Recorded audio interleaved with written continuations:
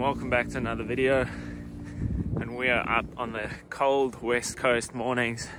Just been driving through some crazy fog and super stoked to be here but it's cold as ever. It's about seven degrees celsius this morning. We are hoping for some waves but it looks small. It looks kind of smaller than we'd hoped but glad to be up here. We're gonna get down to the beach now check out the waves and kind of get today started. Really looking forward to this. I'm up here with tian with robbie that you know and uh, it's set to be a sick day. So stay tuned.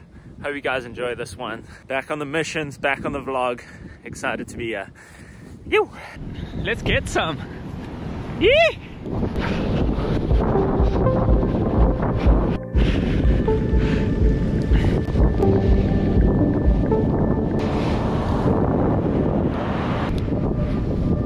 Fever.